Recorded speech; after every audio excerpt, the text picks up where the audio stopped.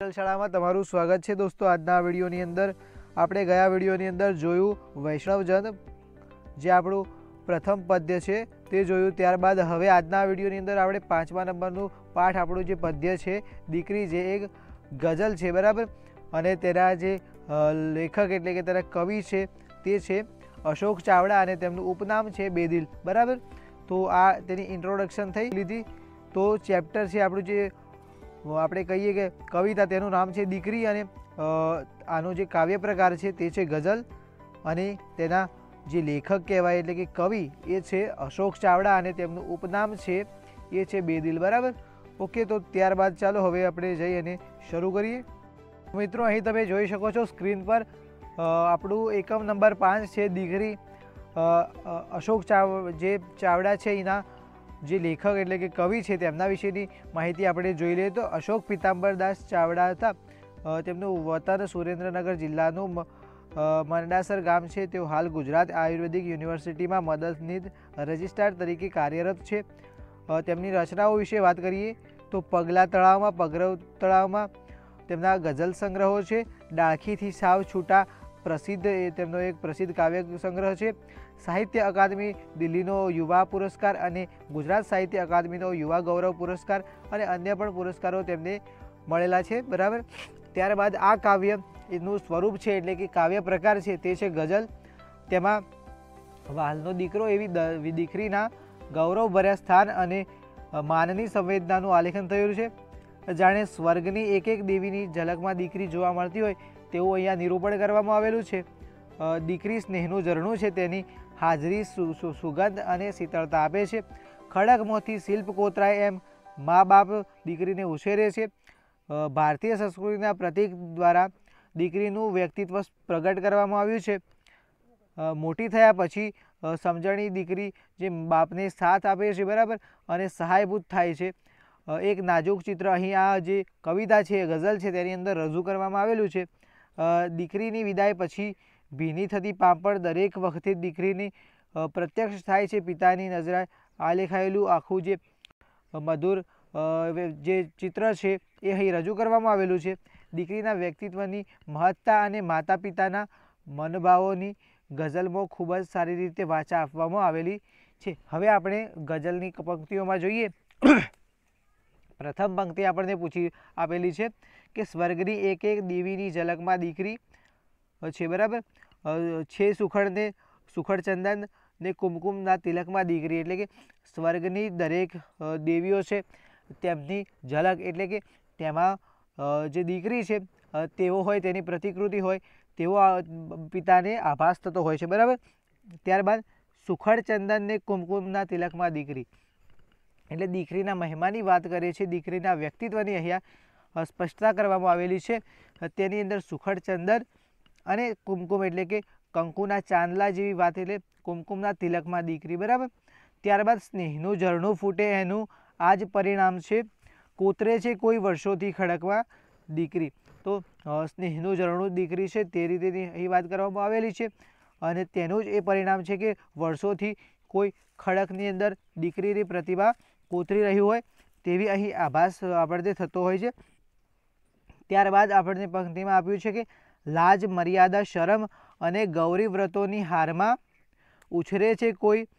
એટલે કે લાજ, મર્યાદા એટલે કે શરમ, લાજ અને મર્યાદા ની વાત કરવામાં આવે ત્યારે દીકરીને એક પ્રતિકૃતિ સમક્ષ વાત કરવામાં આવે છે. શરમ અને ગૌરી વ્રત, જે ગૌરી વ્રત દ્વારા જે અનુભવવામાં આવે છે તેની અંદર ગૌરી વ્રતોની હાર એટલે કે ગૌરી વ્રતોમાં જ્યારે દીકરીઓ અને દ્વારા કન્યાઓ દ્વારા જે ગૌરી વ્રત રાખવામાં આવતા હોય છે અને ગામની અંદર જે ગૌરી વ્રત માટેના જે અમુક સ્થાનો હોય છે, જેવા કે પીપળા અને વગેરે જે વૃક્ષો હોય છે, ત્યાં આ જે વ્રત છે તે ઉજવવામાં આવતું હોય છે. એટલે હારમાં જે દીકરીઓ ચાલતી હોય છે તેની અહીંયા વાત કરેલી છે.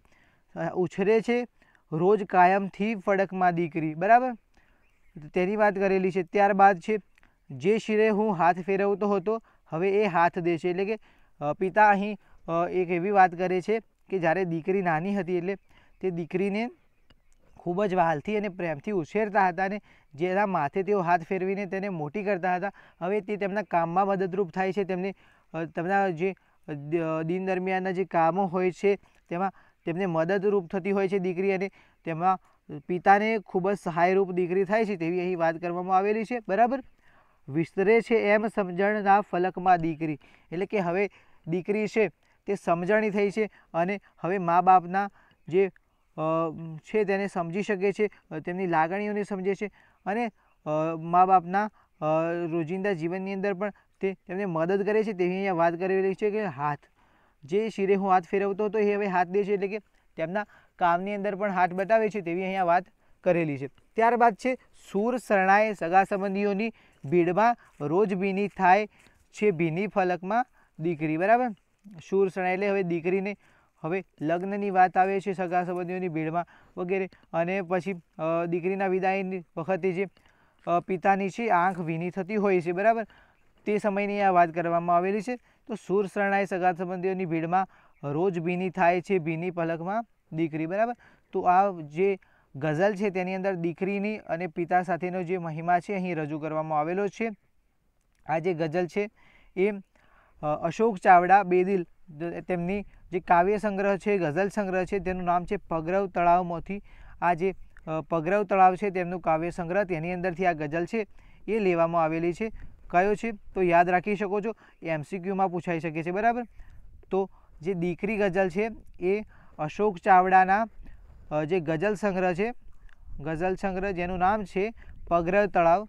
તો પગરવ તળાવમાંથી આ જે ગઝલ છે તે લેવામાં આવેલી છે. અશોક ચાવડાનું ઉપનામ પૂછે તો ઉપનામ તમારે યાદ રાખવાનું છે. તેમનું ઉપનામ છે બેદિલ, બરાબર? તો અશોક ચાવડાનું ઉપનામ થશે બેદિલ. ઓકે? તો અહીં તો જે ઇન્ટ્રોડક્શનની માહિતી હતી અને જે પંક્તિઓ આપણે જોઈ લીધી, પણ એકવાર ફરીથી આનો જે સારાંશ છે એ જોઈ લઈએ. તો આ કાવ્ય છે, તેની અંદર આ કાવ્યનો પ્રકાર છે એ ગઝલ છે, બરાબર? તેમાં વાલનો દીકરો એવી દીકરીના ગૌરવભર્યા સ્થાન અને માનની સંવેદનાનું આલેખન કરવામાં આવેલું છે. જાણે સ્વર્ગની એક એક દેવીની ઝલકમાં દીકરી જોવા મળે છે. દીકરી સ્નેહનું ઝરણું છે. તેની હાજરી સુગંધ અને શીતળતા આપે છે. ખડકમાંથી શિલ્પ કોતરાય એમ બાપ દીકરીને ઉછેરે છે.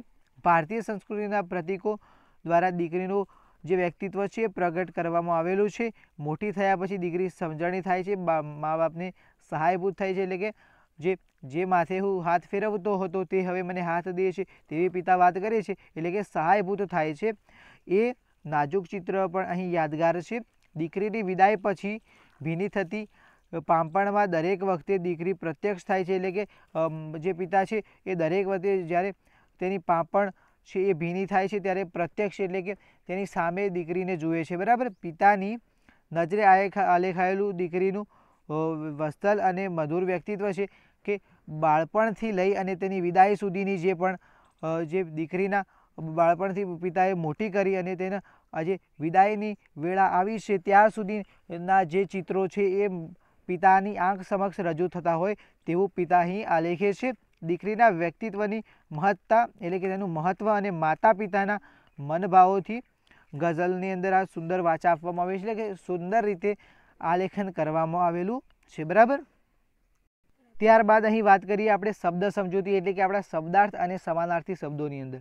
તો પહેલો જ આપણને પૂછ્યો છે કે સ્નેહ. સ્નેહનો જે સમાનાર્થી શબ્દ અથવા તેનો અર્થ થાય છે પ્રેમ. સ્નેહનો અર્થ થાય છે પ્રેમ. ફળક એટલે કે ચિંતા. ફળકનો અર્થ થાય છે ચિંતા. બરાબર? તો ચિંતા થાય છે શિર એટલે કે મસ્તિષ્ક અથવા જે માથું છે તે થાય, બરાબર? ત્યારબાદ ફલક. એટલે ફલક એટલે કે વિસ્તાર તેનો સમાનાર્થી થાય છે. પલક એટલે કે પાંપણનો પલકારો, બરાબર? ઝલક એટલે કે શોભા અથવા તેજસ્વીતા. ખડક એટલે કે ધારદાર ભેખડ અથવા જે પથ્થરની જે એક શિલા હોય છે તેના વિશેની અહીં વાત કરવામાં આવેલી છે. ગૌરી વ્રત. તો ગૌરી એટલે કે પાર્વતીની પૂજાનું વ્રત, ઓકે? ત્યારબાદ આપણે જોઈએ વિરુદ્ધાર્થી શબ્દોની અંદર. તો શર્મ તો બેશરમી, સમજણ અથવા સમજ તો અસ અણસમજ અથવા અસમજણ સમજણ. ત્યારબાદ ભીનું તો સૂકું સ્વર્ગ તો નર્ક અથવા નરક, ઓકે? ત્યારબાદ રૂઢિપ્રયોગોની અંદર જોઈએ તો માથે હાથ ફેરવવો એટલે કે આશીર્વાદ આપવા અથવા આશીષ આપવા અથવા કાળજી લેવી. હાથ દેવો એટલે કે સહારો આપવો, હૂંફ આપવી, સહાયરૂપ બનવું, સહાયતા કરવી, ઓકે? ત્યારબાદ હવે આપણે સ્વાધ્યાયની અંદર જઈએ. સ્વાધ્યાયની અંદર પહેલા પ્રશ્નની અંદર આપણને પૂછ્યું છે કે યોગ્ય વિકલ્પો પસંદ કરી અને પ્રશ્નોના સાચા જવાબ આપણે લખવાના છે. એટલે ચાર વિકલ્પો આવેલા છે એટલે કે આપણે એમસીક્યુ છે, બરાબર? તો પહેલો એમસીક્યુ આપણને પૂછ્યો છે કે દીકરી સ્વર્ગમાં કયા સ્વરૂપે દેખાય છે? તો સ્વર્ગની એક એક દેવીની ઝલકમાં દીકરી આપણી જે પહેલી પંક્તિ છે, તો દેવીઓની ઝલકમાં દેખાય છે, તો જવાબ આવે છે સી, ઓકે? ત્યારબાદ છે બીજો પ્રશ્ન, દીકરીની સમજણ વિસ્તરી છે તેવું કયા કારણથી કહી શકાય છે? તો આપણને એક પંક્તિ આપેલી છે કે જે શિરે હું હાથ ફેરવતો તો એ હાથ દેશે એટલે કે જે પિતા જે માથે હાથ ફેરવીને દીકરીને મોટી કરતા હતા, એ જ હવે તેમને મદદરૂપ થાય છે. બરાબર? તો પિતાને સહારો આપે છે, તેથી કહી શકાય કે તેની જે સમજણ છે તે વિસ્તરી છે, તો જવાબ આવે છે. ત્યારબાદ પ્રશ્ન નંબર બેની અંદર નીચેના પ્રશ્નના એક બે વાક્યમાં આપણે ઉત્તર આપવાના છે. તો કવિ સ્નેહનું ઝરણું કોને કહે છે? તો કવિ સ્નેહનું ઝરણું કોને કહે છે? દીકરીને. આજે આપણી ગઝલ છે, તેનું નામ જ દીકરી છે, તો કોને કહેતા હોય દીકરીને? તો આ તો આપણને કોઈ પ્રશ્નમાં જે તકલીફ પડે એવું છે. નહીં, ત્યારબાદ પ્રશ્ન નંબર બેની અંદર દીકરીને માથે હાથ ફેરવવો અને દીકરી હાથ દે છે, એની અંદર શું ફરક છે? તો આનો ફરક આપણે જોઈ લીધું કે પિતા જે દીકરીને બાળપણથી મોટી કરી છે હાથ ફેરવી એટલે કે તેને બાળ, બાળપણથી જેને સાર સંભાળ રાખીને મોટી કરી છે, હવે એ દીકરી મોટી થઈને માતા પિતાના કામની અંદર તેમને મદદ કરે છે, તેમનો સહારો બને છે. એમ આ જે ફરક છે એ આપણે અહીં દાખવી શકીએ છીએ. ત્યારબાદ પ્રશ્ન નંબર ત્રણ છે કે નીચેના પ્રશ્નોના પાંચ સાત વાક્યોની અંદર જવાબ આપવાના છે. હવે આ પાંચ સાત વાક્યોની અંદર જવાબ આપવાના છે, એટલે હું અહીંયાથી બોલું એ મૌખિક, એ તમારે પેપરની અંદર લખાય નહીં, બરાબર? હું મૌખિક જે રીતે જણાવું, પણ તમારે જે શાબ્દિક રીતે જે લખવાનું હોય છે માટે આ જે સ્વાધ્યાયના સોલ્યુશનના જે પ્રશ્નો છે, તેના લેખિતમાં લખેલી જે પીડીએફ છે, તેની લિંક તમને ડિસ્ક્રિપ્શન બોક્સમાં મળી જશે. ત્યાંથી તમે ડાઉનલોડ કરી શકો છો. સાથે સાથે અમારી સામાજિક વિજ્ઞાનની જે ઈ બુક છે, તે તમારે પરચેઝ કરવી હોય તો તેની કિંમત છે પચાસ રૂપિયા. ડિસ્ક્રિપ્શન બોક્સમાં લિંક આપેલી છે. તમે અત્યારે ખરીદશો તો તમને પચાસ ટકા ડિસ્કાઉન્ટ પણ મળી જશે. ડિસ્ક્રિપ્શન બોક્સમાં લિંક આપેલી છે. તેના પરથી તમે ખરીદી શકો છો. સામાજિક વિજ્ઞાનની ઈ બુક તેની અંદર તમને બાર પ્રેક્ટિસ પેપર આપેલા છે. દરેક ચેપ્ટરના વાઇઝ આઈએમપી પ્રશ્નો આપેલા છે. દરેક ચેપ્ટરના સ્વાધ્યાયનું સોલ્યુશન વીડિયો લેક્ચર દ્વારા દરેક ચેપ્ટરના વીડિયો લેક્ચર બોર્ડની પરીક્ષાની બ્લુ પ્રિન્ટ બોર્ડની પરીક્ષા માટેના પીવાય ક્યુએસ એટલે કે પ્રીવિયસ યર આસ્કિંગ ક્વેશ્ચન એટલે કે જૂના વર્ષમાં પૂછાયેલા પ્રશ્નો અંદર એક વોટ્સએપ ગ્રુપ માટેની પણ લિંક આપેલી છે. ત્યાં તમે વોટ્સએપ ગ્રુપ જે છે, ત્યાંની અંદર જોડાવી જાઓ તો તમને અમુક અગત્યની માહિતી મળી જાય. જે બાર પ્રશ્નપત્રો છે, તેનું પણ લાઈવ સોલ્યુશન કરાવવામાં આવશે. તેની પણ લિંક તમને ત્યાંમાં મળી જશે. ત્યારબાદ એક મહત્ત્વની વાત છે કે તેની અંદર તમને એક અપડેટ બોક્સ જોવા મળે છે. અપડેટ બોક્સ શેના માટે? તો અત્યારે એક નવી અપડેટ આવી કે બોર્ડની અંદર જે ગુજરાત બોર્ડ દ્વારા નવથી બાર માટેના જે પણ સિલેબસ છે, તેની અંદર પેપર સ્ટાઇલની અંદર જે વીસ ટકા ઓબ્જેક્ટિવ પાર્ટ હતો એટલે ખેતુલક્ષી પૂછાતા હતા. તેની જગ્યાએ ત્રીસ ટકા કરે એટલે હવે ધોરણ દસની અંદર સોળ પૂછાતા હતા. તો હવે દસ ટકા વધી ગયું. તો હવે સોળના થઈ ગયા ચોવીસ. તો હવે અમુક પેપર સેટ આપણે ઓફલાઈન ખરીદી લીધા. તેની અંદર હવે તમને એ અપડેટ જોવા મળે નહીં. પણ આપણા અપડેટ બોક્સની અંદર તમને પીડીએફ નવી મળી જાય ઓકે તો આ અપડેટ બોક્સ છે. તો એ પીડીએફ જે ઈ બુક ખરીદવાની લિંક તમને ડિસ્ક્રિપ્શન બોક્સમાં મળી જશે. સાથે સાથે અમારો પેપર સેટ પણ આવી રહ્યો છે. તેના માટેની પણ લિંક ડિસ્ક્રિપ્શન બોક્સમાં મળી જશે. તો ત્યાંથી તમે જે માહિતી છે તે મેળવી શકો છો. આવા અવનવા ઉપયોગી વીડિયો મેળવવા માટે અમારી ચેનલને સબસ્ક્રાઈબ કરી શકો છો. સાથે સાથે ઇંગ્લિશ ગ્રામરની અંદર આપણા પ્રદીપ ગઢવી સર દ્વારા વીડિયો અપલોડ કરવામાં આવેલા છે. જેની અંદર આર્ટિકલના વિશેનો વીડિયો છે એ અપલોડ થઈ ગયો છે. ધોરણ નવથી બાર માટે આ જે આર્ટિકલ છે તે ખૂબ જ ઉપયોગી થતા હોય છે. બોર્ડની એક્ઝામની અંદર એક ઇંગ્લિશ ગ્રામરનો ખૂબ જ મહત્ત્વનો ટોપિક છે. એ એન ધ આર્ટિકલ છે વગેરે. તેના વિશેના ડિટેલ વીડિયો અપલોડ થઈ ગયા છે. તેના પ્રેક્ટિસ પેપરનું સોલ્યુશન પણ અપલોડ થઈ ગયું છે. આપણા સામાજિક વિજ્ઞાન વિષયની અંદર આખો સિલેબસ અપલોડ થઈ ગયો છે. વિજ્ઞાનના વન શોર્ટ રિવિઝન અપલોડ થઈ ગયા છે. અને યુથ વિદ્યાકુલ પેપર સેટનું સોલ્યુશન પણ શરૂ થઈ ગયું છે. એક પેપર સેટનું સોલ્યુશન અપલોડ થઈ ગયું છે. તો આ બધી જ જે માહિતી છે એ તમને ડિસ્ક્રિપ્શન બોક્સની અંદર મળી જશે. ત્યાંથી લિંકને એક્સેસ કરી શકો છો. વીડિયો પસંદ આવ્યો હોય તો વિડીયોને લાઇક કરી દેજો. તમારા બીજા દોસ્તો સાથે શેર કરી દેજો અને ચેનલને સબસ્ક્રાઈબ કરી નોટિફિકેશન બેલને ઓલ પર સેટ કરી દેજો. ફરી મળીએ નવા વીડિયો સાથે. ત્યાર સુધી આવજો. જય હિન્દ. વંદે માતરમ. ભારત માતા કી જય.